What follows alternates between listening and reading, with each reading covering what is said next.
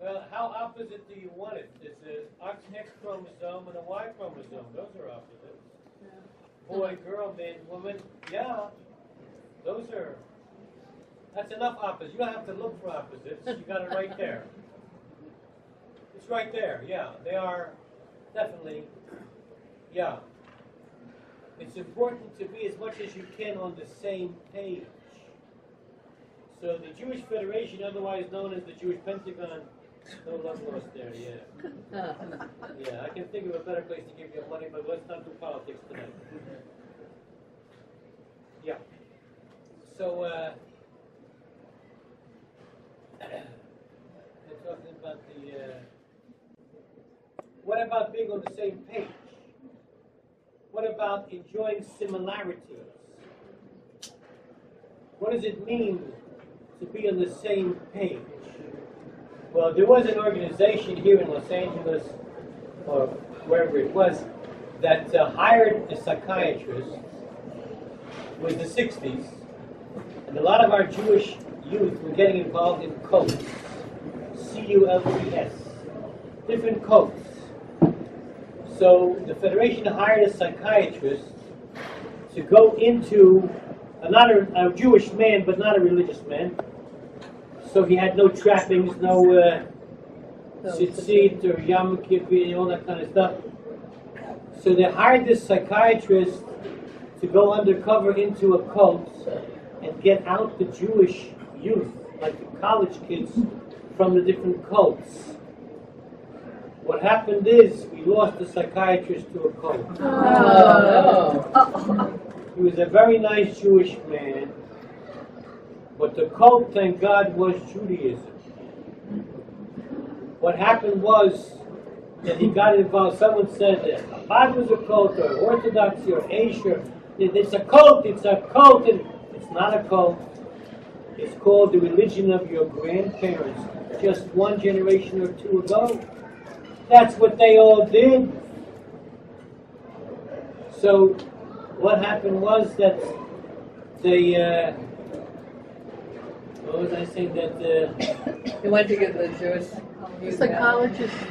oh, so, the, so this psychiatrist went into the cult, I mean, went and got involved there, and uh, so he started getting, he started really enjoying the Yiddishkeit, that hardcore, authentic, traditional Judaism, to the point where he called me up one day and he said, Rabbi, I need you to come do some marriage counseling. My wife is not fond of my my new birthday present to myself. It wasn't a I hat, it was a black hat. Oh. It was like a standard, you know, GI issue, uh, Hasidic black hat with a open you. And he was, uh, and he says he started making some murmurings that he wants me not to have any more lobster in the house, and uh, and that sort of. And he doesn't want the kids to bring home the the, the cheeseburgers and, and stuff like that. So my wife and I both went to their home, lovely home, very successful psychiatrist, and I, we talked to the wife, and the wife started laughing at us, and she said, "You know what? We are my husband and I are not on the same page." He was always very spiritual. That's why he got involved in cults and tried to understand the cults and get our Jewish young out of the cults. I have only two interests. And my, Olivia and I started laughing when she said, My two interests are tennis and shopping. That's it. That's all she wrote. She was not interested in being one hand breadth above the earth or or meditation or or anything like that that he was interested in. So that was another Ten minutes. the second most important sentence and the most important prayer in our religion. With all your heart. But in Hebrew, even if you don't know Hebrew, you can get this. It should say, "V'ahavta Hashem Elokecha b'chol libcha." Love God with all your heart. It doesn't say that. It says "levavcha." That means levavot shelcha in the plural, your hearts. You didn't know you had two, huh? No. You got two, not one. This could be the most important thing in the Kabbalah, one of, one of two of the most important facts in all of Kabbalah, that you don't have one heart, you have two. One heart is a natural heart, the other is passion. What's the second, and I'm pushing through, what's the second way to love? Soul. Thou should love the Lord thy God with all thy heart and all thy soul. Everyone here has one. You have a soul. Now, I think I said last time that when the incoming, I was 20 years a rabbi, campus rabbi at UCLA. 20 years of incoming freshmen all had the same major. What was that? Psychology. Thank you. Because they're desperate to know who they are. They're 18, 19, 20, 21 years old. They want to know what makes me tick. Why do I react the way I do? Why does this person do it for me, another person doesn't? Why do you push my buttons? Why does this? Why is it great one day and not the other? Why do I love my mother and I call her and then I hang up on her and I'm angry and I'm fighting with my my mother, my mother. In the Decalogue, the Ten Commandments, honor your mother for long life, and if you don't, the deduction could be short life, God forbid. So, the idea of the two souls is, is, is one of the most important besides the other that I said. Most people think that a human is a composition composed of body and soul. Wrong. If that's the case, then we're all spiritual schizophrenics. Because we have these two levels of consciousness pulling us. The other side of the same coin. I love my significant other. I hate my significant other. Ah! I hate when you do that. I hate when you say that. I hate when you behave like that. But I love you. I'm staying with you forever. You're my soulmate. There are two souls, not one. The first soul enters in, it depends who you ask, but according to Kabbalah, it's conception. Boom! Aha! That's the first soul. The second soul comes about later. For a, a female, what age does the second soul come in? 12 in a day. For a male, the second soul comes in at what age? That's what bar mitzvah is all about. Don't rip off the Jewish women. We're going to do Q&A after this. Don't. It's not. It's not 13. You're robbing her of a year of her life that she can do things. That she can bring down godliness. That she can attach herself to the Almighty Infinite God. It's 12 for a girl and 13 for a boy. The two souls, it's not that we're spiritual schizoids, it's we have this double level of, of, of consciousness. One is called the natural soul, doing what comes naturally. The other is called the holy soul. But what the Torah is requiring of us is to love God with all thou shalt love the Lord thy God with all thy souls in the plural. Natural soul is doing what comes naturally. You hit me, I'll hit you back. The divine soul, the holy soul, is, well, let me just set it up for you.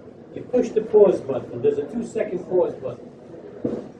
When you want to, there's three vehicles of human expression. There's three ways that a person expresses themselves.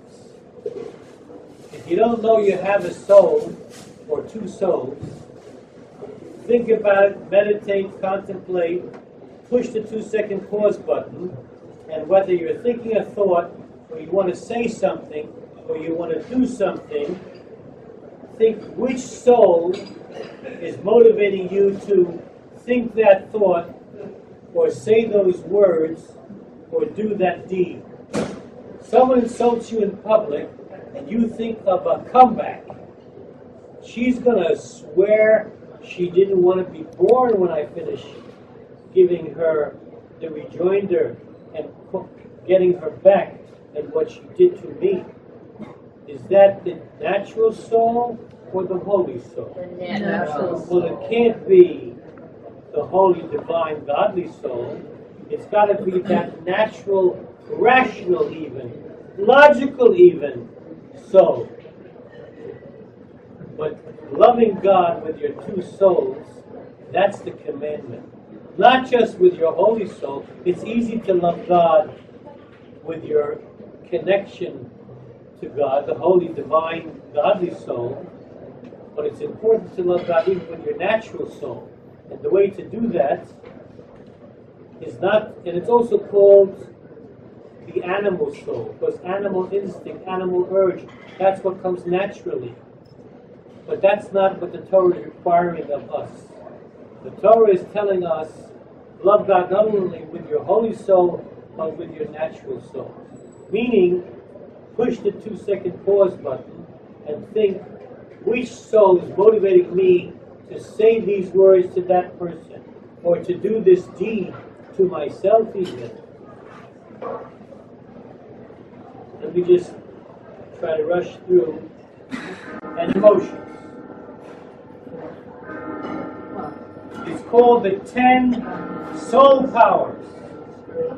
Three of intellect powers and seven emotions. How many times does a man wrap the phone strap between his elbow, his elbow and his wrist? How many times? Seven. Well, three here, or three here, seven between elbow and wrist, seven times. What's the Kabbalistic meditation when you're wrapping those seven coils between your elbow and your wrist? The meditation is I want to bind up all my seven emotions with a power higher than myself. What's the Kabbalistic meditation when you're winding three coils before the seven to make it ten soul powers on your bicep or the seat of your power or your your hand? The three intellect powers. You can use your intellect to make to hurt somebody back because they hurt you, or you can use your intellect to find a cure for cancer. You can it depends what you do with it. There are certain things that are neither fish nor fowl. They're. Right. They're they're what you make of them. Time is, is not fish. It's not milk and inflation. It's not meat nor dairy. Depends what you do with it. You can kill time. You're a murderer. You're murdering yourself. Time, food, intellect, emotions. Love for your significant for your wife is a mitzvah. Love for someone else's wife is not a mitzvah. So, so this, this, there's a lot to say. Ten soul powers in your soul, subdivided into three and seven. Three intellect powers, seven emotions. There's a lot to talk about. You'll have to come back maybe in a couple Tuesdays from now, but I finished. I want to keep to the time, so maybe we'll open up.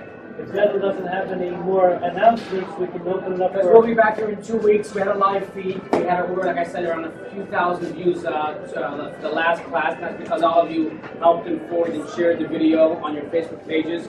Keep on doing that with this class as well, so this class can continuously grow.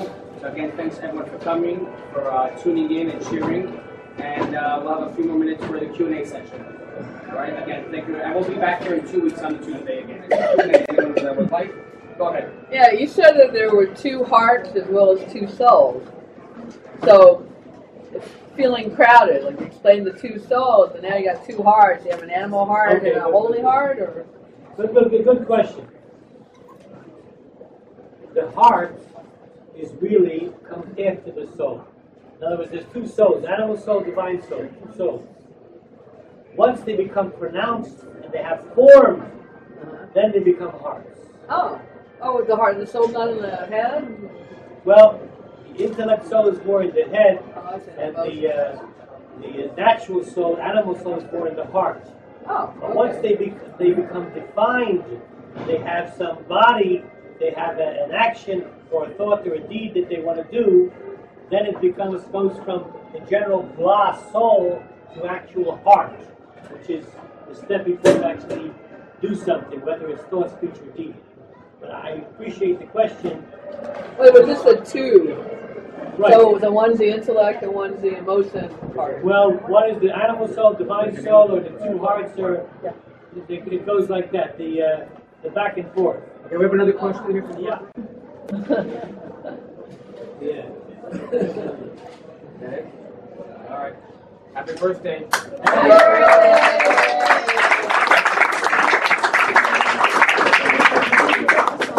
Duckborough. Oh yeah. Now I just want to say one last thing. In conclusion, the, the Kabbalah says that on your birthday, and tonight is my birthday, your star Mazalo Gover shines the brightest, which means you have the power on your Jewish soul birthday to bless people. I want to bless everybody here and everybody who's listening. That God should give you the blessings of the highest success beyond your highest estimate of yours, what you think it should be your success. God bless you all. Amen, amen, amen. Thanks for inviting me.